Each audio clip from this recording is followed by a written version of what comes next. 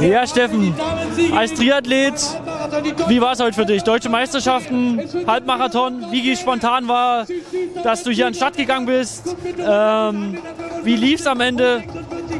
Ja, frag, gib mal kurz eine Zusammenfassung. Ja, also der Plan war schon länger, dass ich laufe, weil wir mit dem Tobi Blum und dem Philipp Stief echt eine gute Mannschaft gehabt hätten. Jetzt hat der Philipp vor zwei Wochen abgesagt. Das hat bei mir natürlich extrem den Druck runtergenommen. Und ich habe das dann in den letzten zwei Wochen, weil ich noch im Radtrainingslager war und so weiter, einfach nur gesagt, kein Stress für den Marathon, einfach trainieren und mal mitmachen.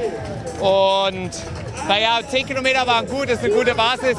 Aber nachdem ich ja, wie bekannt, das aufgehört habe, äh, laufe ich gerade ein bisschen mehr. Also auch mal mit dem Fokus vielleicht noch einen großen Stadtmarathon am Jahresende, aber dann halt mal mit richtig vorbereitet, dass wir nochmal die alten Bestzeiten aus Triathlon-Zeiten angreifen können. Genau, du bist letztes Jahr da zurückgetreten. Und wie viel Zeit bleibt dir momentan so zum Trainieren? Wie, wie viel Zeit kannst du aufbringen?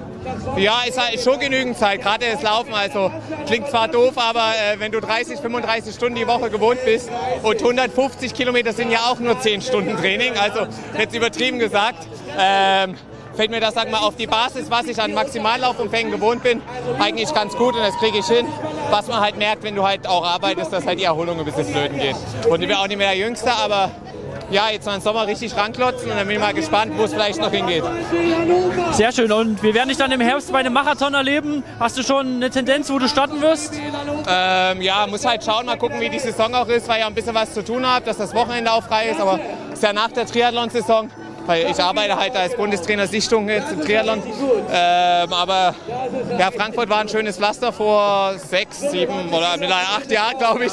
Ähm, kann ich mir ganz gut vorstellen, auch weil es, glaube ich, wieder deutsche Meisterschaft ist. Und ähm, ja, da müsst ihr auch mal richtig trainieren. Okay, dann bis dahin, dann sehen wir uns wieder im Herbst. Ja, Ja, gerne. Besten Dank, Steffen. Ciao.